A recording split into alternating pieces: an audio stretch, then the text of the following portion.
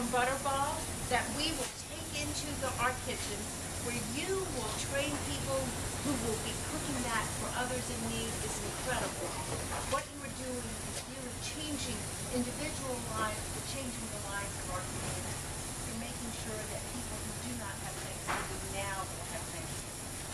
I want to thank you for the opportunity you give us. I mean, you, you say what we do all year long. We don't do anything, really, compared to what you all do. The the efforts that you're doing here are incredibly noble. Um, it's amazing the reach of your organization. I was getting, I got a recap last year. I was getting another recap here shortly, a, a little bit ago.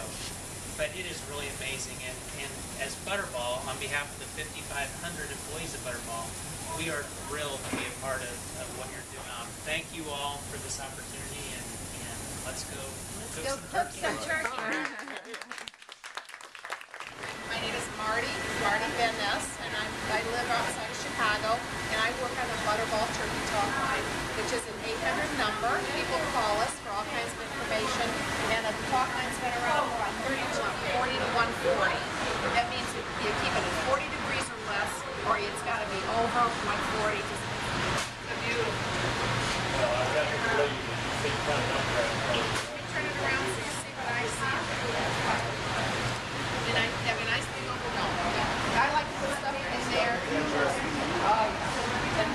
Hold that there, that's that. You want to come up just above it and have it just resting in there, and you're going to cook until you're about a half hour before it's done. I put in about a half a cup of hot water. It's my own recipe. I don't get it. I made it up. Where's that called? Put the hot water and leave it.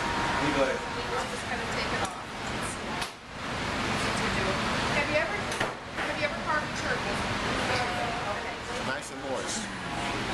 Happy birthday.